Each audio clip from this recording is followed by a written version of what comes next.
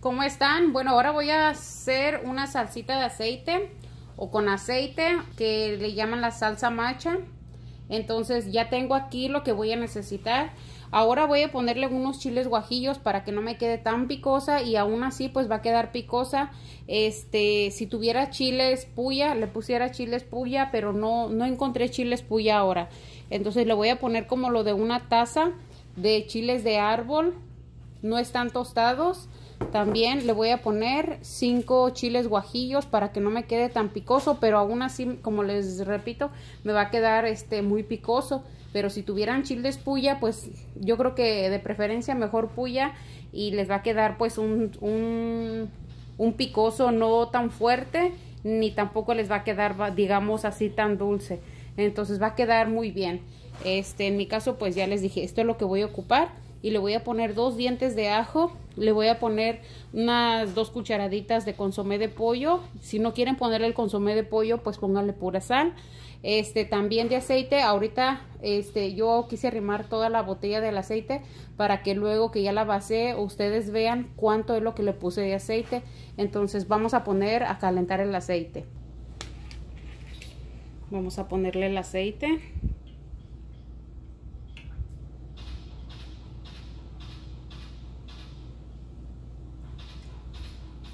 Miren cuánto le puse le puse como más de la mitad poquito más de la mitad.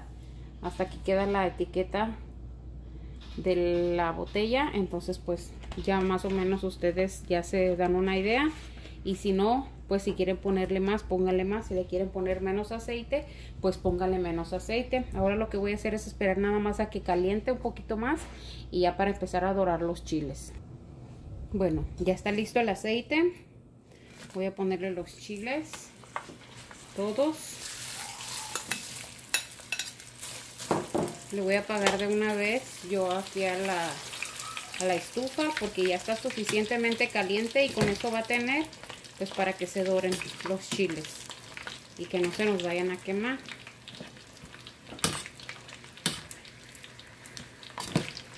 También si ustedes quieren le pueden poner a dorar aquí los ajos o se los puede, o se los puede poner crudos. Yo se los voy a poner crudos. Así. Y también yo voy a esperar a que se enfríe un poquito el aceite. Por precaución es que lo voy a dejar a que se enfríe. Este, yo prefiero esperar, este, la verdad. Pero ya como ustedes este, quieran hacerle, si lo quieren moler en cuanto terminen de dorarlos, pero pues para evitar algún accidente mejor hay que esperar. Entonces pues ya, ya mire, ya quedaron listos, así. No están quemados ni, ni nada, miren, quedaron perfectamente ya listos para empezar a moler. Nada más que como les digo, vamos a esperar a que se enfríe el aceite para evitar un accidente al momento de que vayamos a, a molerlos en la licuadora. Porque pues está mucho, está hirviendo el aceite. Entonces ya ahorita que vaya a molerlo, ya les muestro. Bueno, ahora sí, pues ya se enfrió un poquito, no está completamente frío el, aceite, pero ya, ya está menos caliente. Ahora sí vamos a molerlos.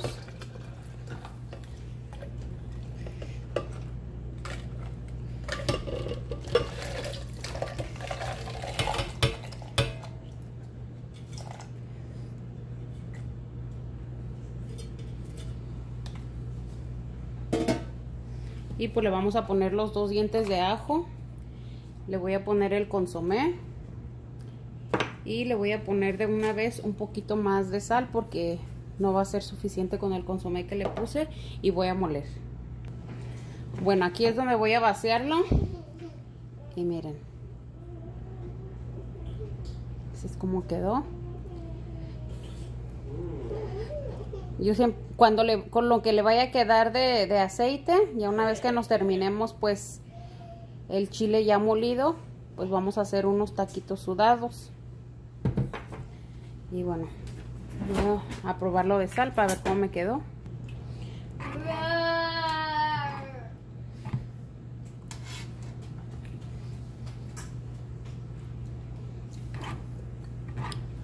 Quedó muy rica.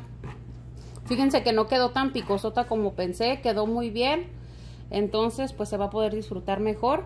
este ahorita se ve todavía así como muy clara pero ya todo el chilito se le va pues se le va a sentar y se va a levantar el aceite y abajo va a quedar el chile molido pero como les digo con el aceite que le va a quedar así encima más clarito con ese este vamos a hacer unos tacos sudados y miren qué rico bueno ahora sí nos miramos hasta el próximo video así es como ya quedó esta salsa con aceite salsa macha para nuestro pozole y bueno, nos miramos hasta el próximo video. Muchas gracias. No se olviden de compartir y de darle like. Hasta luego.